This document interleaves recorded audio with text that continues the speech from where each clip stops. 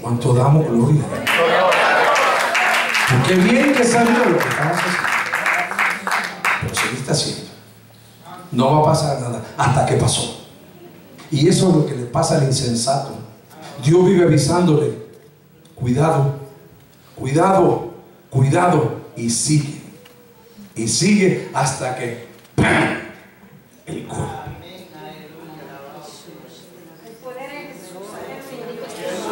La Biblia dice sabiduría. ¿Sabiduría para qué? ¿Para qué? Para gobernar tu vida. La vida de otros. Cuando a veces nos preocupamos tanto por la de otros, pero ¿qué de mi vida? ¿Soy yo feliz? ¿Estoy tomando las decisiones correctas en la vida?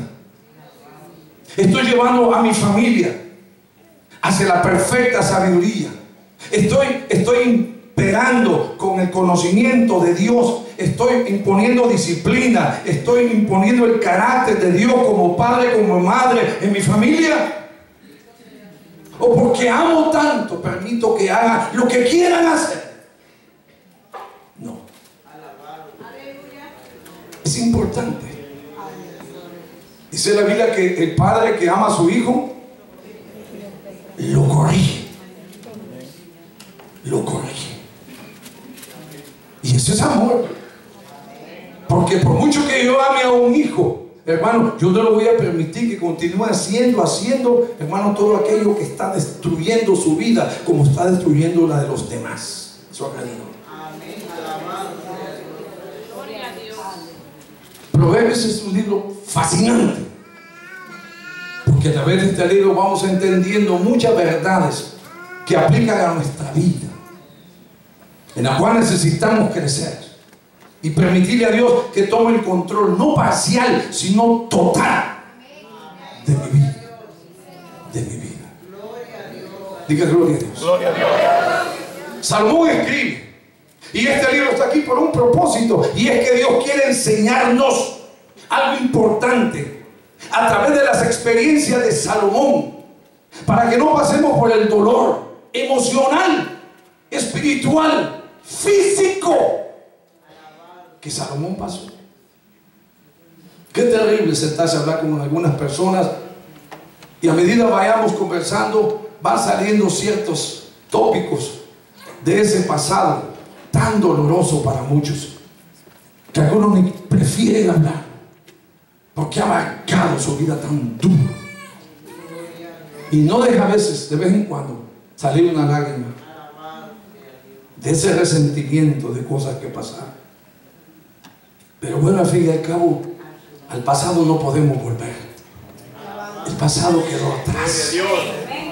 Pero hoy necesitamos comprender que yo no puedo vivir con mi pasado a mis espaldas toda la vida. No, eso no es saludable para nadie. Cada vez que dialogo con alguien se lo digo, no olvídese de eso. Ríndale al Señor esas áreas.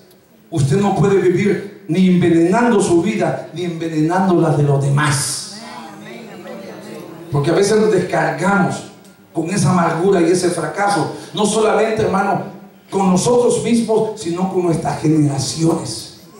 Y vamos maldiciendo a los hijos también, para que vayan resintiendo lo mismo que a mí me hicieron. Somos como un punto de infección que vamos envenenando a los hijos y los hijos comienzan a transmitir la historia del abuelo, de la abuela, lo que me pasó, lo uno y lo otro, y los hijos comienzan a vivir así. No, basta.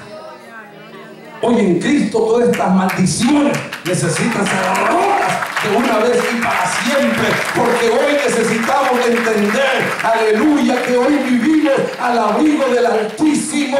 Diga conmigo, yo hoy vivo al abrigo del Altísimo. Que habita el abrigo del Altísimo morará bajo la sombra del Omnipotente, dijo esa misma.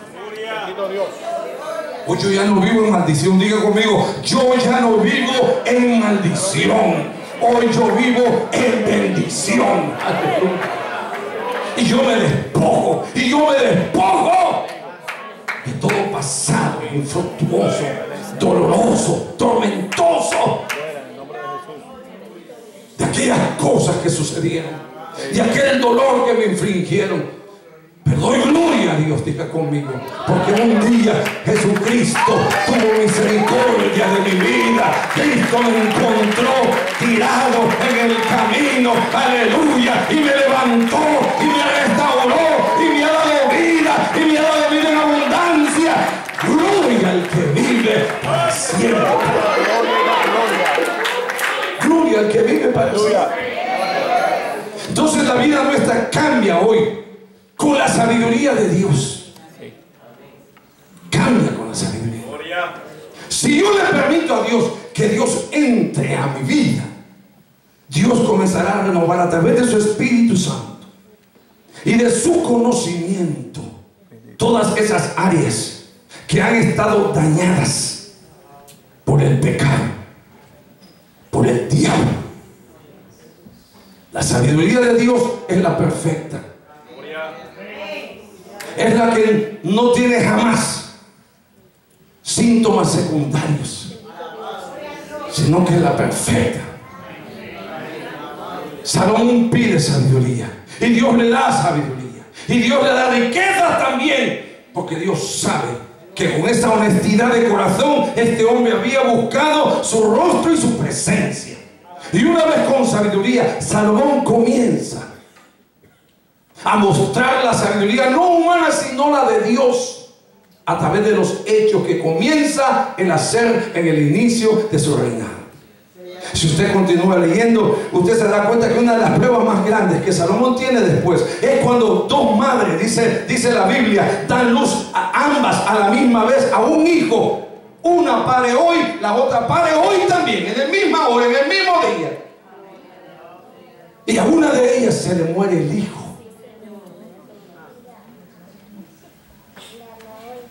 Y comienza a llorar. Y a la otra que tenía su hijo, ella va y coge el hijo muerto de ella y va y se lo cambia.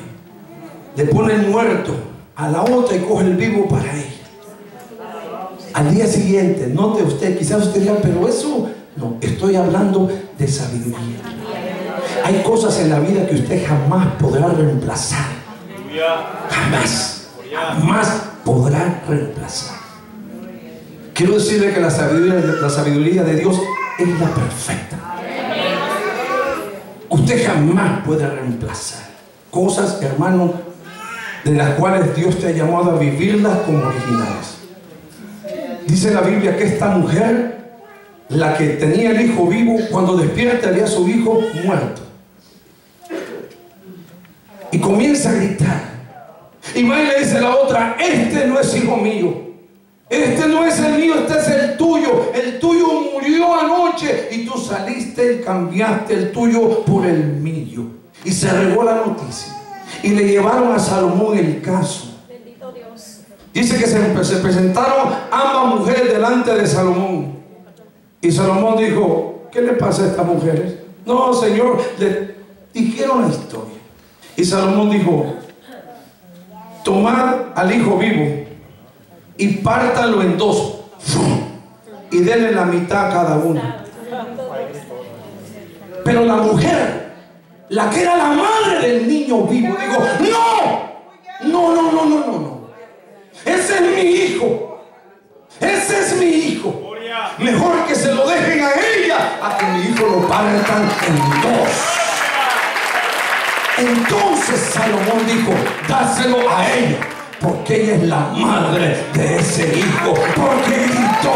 La otra ni siquiera dijo nada, porque no lo había parido, no le había dolido, aleluya. Hay cosas en la vida, hermano, que no te van a doler jamás si es que no te importan, pero las cosas de Dios tienen que importarte en la vida, porque esa es la vida y mucho más la de hoy, sino también la eterna para gloria y honra de su nombre. Aleluya.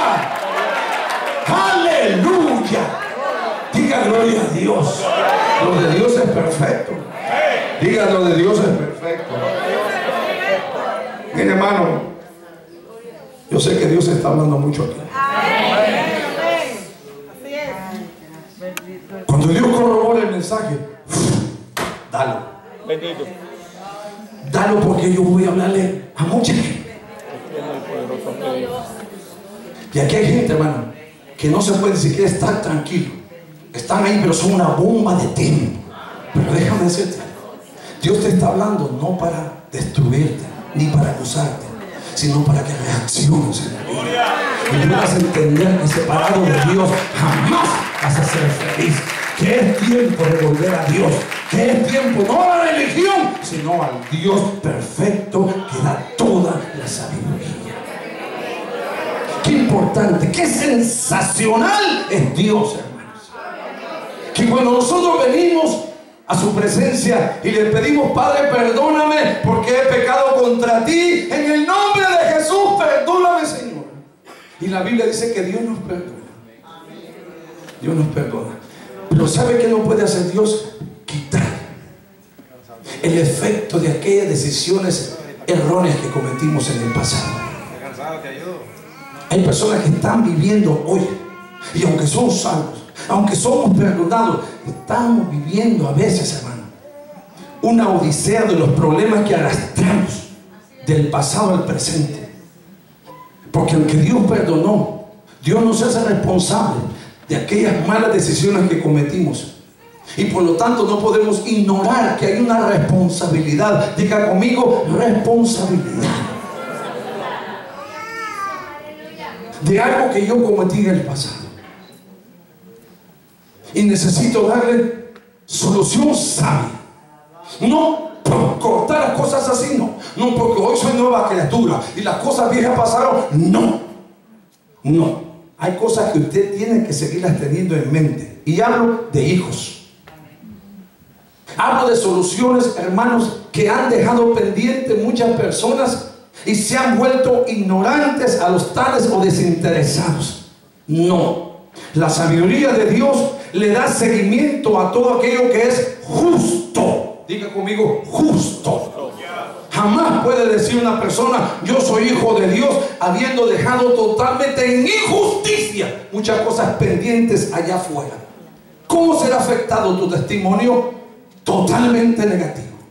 Porque ahora te dirá, yo soy un hijo de Dios, pero tus obras están diciendo totalmente lo contrario. Porque un hijo de Dios funciona bajo la justicia de Dios. Funciona y vive bajo la justicia de Dios. Y todo el mundo dirá verdaderamente, esa mujer, ese hombre es un hijo de Dios. Porque si bien es cierto, cambió de todas estas cosas, pero jamás se olvidó de las responsabilidades que tiene que enfrentar en la vida. ¿Cuánto decimos gloria a Dios? ¿Cuánto decimos gloria a Dios? Pide sabiduría, Salomón, y continúa ejerciendo. Dice aquí claramente, para entender sabiduría y doctrina, para conocer razones prudentes, para recibir el consejo de prudencia, justicia, juicio y equidad, para dar sagacidad a los simples y a los jóvenes inteligencia y cordura. Oirá el sabio, dice, y aumentará el saber, y el entendido adquirirá consejo.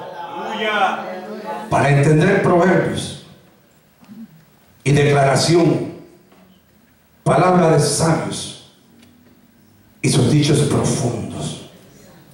Aleluya.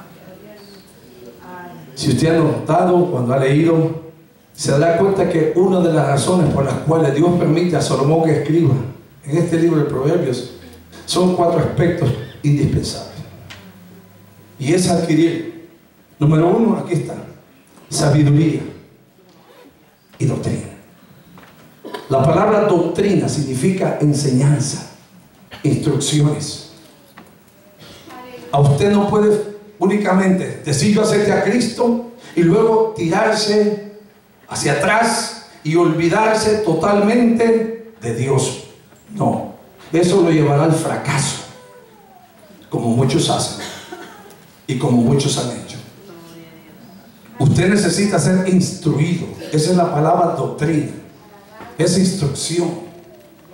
Usted necesita ser enseñado para que a través de la enseñanza todos nosotros podamos discernir cuál es la perfecta sabiduría de Dios para con nosotros. Por eso es que necesitamos ser enseñados, ser instruidos. Recalco y repito una vez más, ninguno de nosotros hemos nacido sabidos. Todos nosotros nacimos programados por Dios para poder aprender. Todos nosotros nacimos programados por Dios para poder aprender en la vida. Pero a veces es tan fácil aprender lo malo, a decir lo malo, a vivir de acuerdo a cómo se mueve todo el mundo allá afuera. Y una vez establecido ese aprendizaje, es tan difícil romper ese esquema. Y es ahí donde vienen los principios que Dios aplica a su iglesia. Dice segunda de Timoteo capítulo 3, 16. Si usted la busca, será bendición. Toda la escritura es inspirada por Dios. Toda la escritura es inspirada por Dios. Qué lindo. Y es útil para enseñar. ¿Qué era lo que Salomón estaba diciendo? Sabiduría y doctrina. Es enseñanza. Es útil para enseñar. Enseñar, diga conmigo, enseñar. Hay gente que tienen en poco la enseñanza. El servicio del día miércoles, del día viernes. Algunos dicen, no, yo como que ya sé mucho, ¿para qué total ahí? No, no, no, no. Mira, amado hermano, le voy a decir algo. A veces en algunas iglesias o algunos, algunos cristianos, diría yo, están tan acostumbrados en que en cada servicio tienen que haber luces, truenos, rayos, hermano, como para decir que Dios estuvo presente. Y eso no siempre será así. Ese que Dios va hablando suavemente, pero va rompiendo suavemente, pero va rompiendo, va edificando esas áreas, hermano, que necesitan ser edificadas en nuestra vida. Lo cual es la enseñanza. A veces el maestro diserta la enseñanza, la palabra desde este lugar y hay personas que están ahí a veces hasta durmiéndose, a veces es diferente y otros estamos atentos. Gloria a Dios. Porque esto no se debe que tenga que haber rayos, centellas, ese novelismo que a veces queremos tildar en las iglesias, que estuvo bueno el culto. Ahí mire, brincaron, todos saltaron, aleluya. Pero el mismo Dios que estuvo allá, es el mismo Dios que aquí. Esa es la enseñanza. Esa es la enseñanza. Y a veces no arrancamos, un gloria a Dios, un aplauso para Él. Porque consideramos que no hubo mucho ruido. Que no hubieron cohetes, como decimos en mi país. Que no hubieron luces ni bombas. Dios se mueve de la manera como Él quiere hacerlo. Dios se mueve de la manera como Él quiere hacerlo. Y aquí está claramente el Señor inspirando al apóstol Pablo para que hable a su iglesia. Y dice toda, toda la escritura. ¿Y de quién estamos hablando? De Proverbios. Toda la escritura es inspiración de Dios. Dada a los hombres, aquellos que recibieron la inspiración y el mensaje y escribieron estas palabras. Pero no lo escribieron por inspiración propia. No, fue la inspiración del Espíritu Santo Aleluya. Y estos hombres, siendo inspirados, comenzaron a escribir. Pablo corrobora estas verdades bíblicas y dice, toda la escritura es inspirada por Dios. Y es útil. O sea, que tiene una utilidad. Por eso Salomón pide sabiduría a Dios. Porque necesitaba gobernar ese pueblo. Toda finalidad para la cual Dios de esa palabra Hermano, tiene un propósito. Cuando usted tiene un plan en la vida, la cual todos tenemos que tener, debemos de presentar ese plan a Dios. Y debemos de buscar citas bíblicas que vayan paralelas a ese plan. Porque será a través de la palabra, será a través de la ayuda del Espíritu Santo que Dios irá dando forma la corroboración al creyente de si es o no es la voluntad de Dios el plan que tú trazaste. Dios tiene todo el derecho de echar al piso los planes míos y los suyos. Bendito Dios. Porque Él es Padre y nosotros somos hijos. Porque Él es Dios y nosotros somos su creación.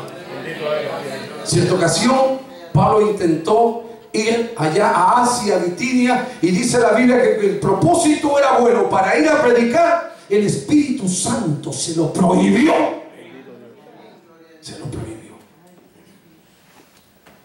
Hay cosas que parece que tienen buen nombre. Y usted dirá, no, pero yo siento de Dios. Usted podrá sentir, yo puedo sentir de Dios, todos podemos sentir de Dios. Yo, usted, pero será de Dios. Porque dice la Biblia que dos veces el Señor le prohibió Pablo que fuera a esa región. Hasta que un día noche Pablo tuvo un sueño donde aparecía un varón macedonio que le decía, pasa por Macedonia y ayúdanos. Entonces Pablo entendió, Pablo entendió que Dios lo quería en Macedonia. ¿Sabe lo que Dios quiere? Es bendecirnos como nadie lo ha hecho en la vida. Dios quiere bendecirnos como nadie lo ha hecho en la vida. Pero para eso tiene que haber un proceso de aprendizaje. Aprendizaje. Digan conmigo, aprendizaje. Aprendizaje. Qué lindo saber que el aprendizaje puede tomar tiempo, meses, años. De Dios depende. En el capítulo 13 del libro de Hechos, la Biblia dice que Pablo y Bernabé fueron llamados al ministerio. Cuando el Espíritu Santo dijo apartarme a Saulo y a Bernabé para la obra que yo tengo con ellos. Dijo el Espíritu Santo. ¿Qué tiempo tenían orando? No se sabe. Pero en el momento oportuno dijo el Espíritu Santo. No se ande llamando usted donde no le han llamado. Por favor, no coma ansias ni emociones. Porque en el momento que usted salga, puede haber mucha efervescencia. A lo largo del camino, usted se dará cuenta si fue Sí. o no fue de Dios. Así es. Pero yo quiero hablarle a usted de la sabiduría de Dios, no del emocionalismo personal que muchos manifiestan ante circunstancias o planes que puedan surgir y allá voy, sin Dios estar en la noticia. Dios tiene todo el derecho de desbaratar nuestros planes si así lo quiere. Y Dios ubicarnos hacia, hacia donde verdaderamente debemos de hacer lo que Dios quiere que nosotros hagamos. Eso es sabiduría. ¿Sabe lo que es sabiduría? Es el conocimiento puesto en práctica en nuestra vida cotidiana. Es el conocimiento puesto en práctica. Pero el conocimiento de Dios puesto en práctica en nuestra vida cotidiana. Todos los días, Señor, sea tuyo, será tu voluntad. Señor, ayúdame. Señor, a discernir. Y cualquier cosa que surja, compárelo con la palabra. Cualquier decisión que tome, compárelo con la palabra. ¿Sabe por qué? Porque es lámpara. Lámpara a nuestros pies. Y a nuestro camino. Diga gloria a Dios. Lámpara es a nuestros pies. Y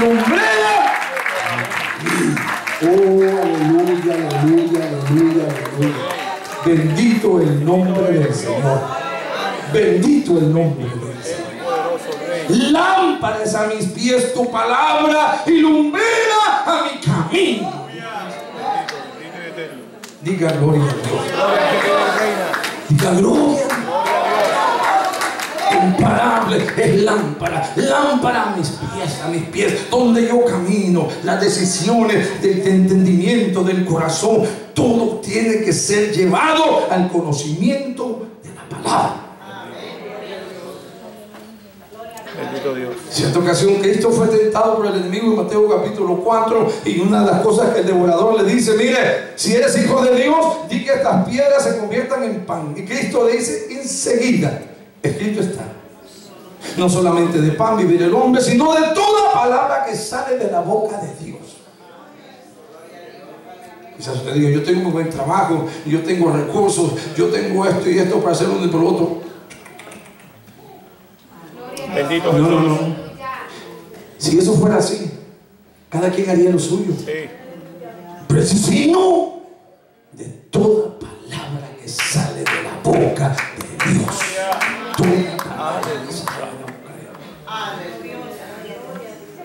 Sabiduría. Bendito. estamos pidiendo sabiduría. Y Pablo continúa diciendo que toda palabra es inspirada por Dios y que tiene una utilidad.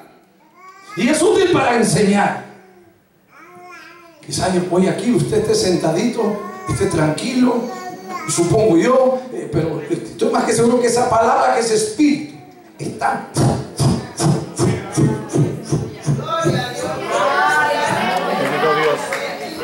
Estará diciendo, "Wow, la verdad que tengo que reorganizar las cosas. La verdad que tengo que reestructurar las cosas. Porque si yo victoria quiero, necesito ser comparable a mis planes a la voluntad de Dios. ¿Por qué? Porque la palabra está enseñando. La palabra le redarguye también. Diga gloria a Dios. La palabra redarguir es esa área que comienza a incomodar y usted ve las personas así. ¿Por qué? Porque la palabra es espíritu y está redarguyendo la vida, el alma de esa persona. Y yo sin saberlo, porque no necesito saber nada, porque hay uno que lo sabe todo. Por eso a él le damos la gloria, por eso a él le damos la honra, porque él se lleva toda la gloria. Porque esta es sabiduría de él, no de hombre. Entonces Dios redarguye. Y continúa el apóstol diciendo, para corregir. O sea que yo puedo pensar que voy bien, pero Dios a través de su palabra está diciendo, dale, dale hacia la derecha. No, pero dale, dale. Señor, pero dale, te digo. Entonces, ¿qué pasa? Ahí es donde lo que yo he estructurado, Dios comienza a reestructurar. Y es donde va doliendo. Lo que yo he estructurado, he creído y he dicho y he mantenido por tiempo, Dios comienza entonces, hermano, a quebrantarlo y hacerlo pedazos.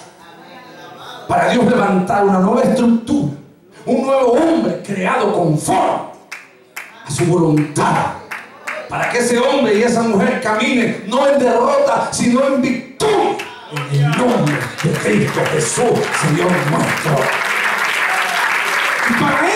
Tengo que aprender a sujetarme a Dios. ¿Cuántas veces usted ha tenido un muchacho obstinado cuando es pequeño? Vámonos, mi hijo, no, que yo, vámonos, no. ¿Y qué ha tenido que hacer? Lo ha arrastrado. Y hasta le ha zumbado un par de nalgadas, como decimos en el. Dios a veces tiene que arrancarnos y arrastrarnos. A no ser que usted sea obstinado. Bueno, entonces. Pero mañana no digas que yo no te hablé, que yo no te instruí, que yo no te corregí, que yo no quise ayudarte. Y he aquí la gran encrucijada donde a veces llegamos en la vida, donde hay caminos, hermano, que al hombre le parece que son correctos. Pero su final, dice la vida, son caminos de muerte. Hay caminos que al hombre le parece que son. Perfecto. Yo pienso sí, que será un buen esposo, un buen padre. Lo veo bastante bien, pues se ve decente. No sabe lo que es. Esa muchacha la veo buena, sí. Ese muchacho se ve tan qué bueno. Así, hasta así camino. Hasta empieza. Espérate que te cases. Para ver cómo te sacan los dientes y las uñas. Entonces vas a querer decir, Dios mío, en qué lío me metí. Bien dicho, te metiste. No porque Dios quiso, sino porque quisiste. Porque cuántas veces Dios te puso señales, no sigas. Vamos, detente. Es que hay gente que le